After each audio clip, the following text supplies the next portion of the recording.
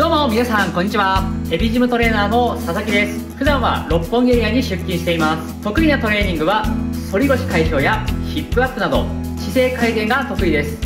趣味は読書をすることで最近は鉄道に関する本をたくさん読んでいます。皆様の目標達成を全力でサポートさせていただくのでぜひよろしくお願いします。